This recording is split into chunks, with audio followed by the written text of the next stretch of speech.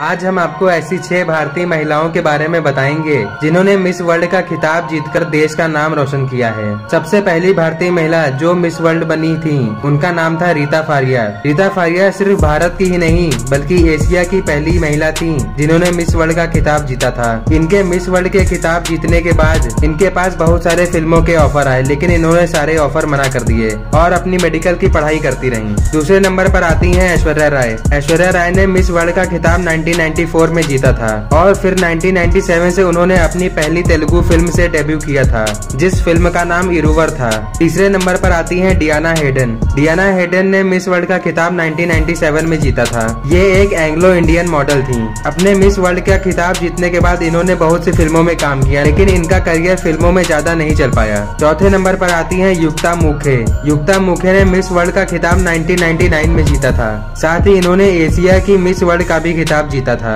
पाँचवें नंबर पर आती है प्रियंका चोपड़ा। प्रियंका चोपड़ा ने मिस वर्ल्ड का खिताब सन 2000 में जीता था। और ये एक बॉलीवुड की बहुत मशहूर एक्टर प्रोड्यूसर और सबसे हाईएस्ट पेड एंटरटेनर्स में से एक हैं। छठे नंबर पर आती है मानुषी चिल्लर। मानुषी चिल्लर ने मिस वर्ल्ड का खिताब 2017 में जीता था। और इनके खिताब जीतने के बाद इनके पास फ़िल्मों के बहुत सारे ऑफ़र आए। और इनकी आने वाली फ़िल्म का नाम पृथ्वीराज है, जिसमें ये अक्षय कुमार के साथ दिखेंगी। तो अगर वीडियो अच्छा लगा हो तो चैनल को सब्सक्राइब करिए। Thank you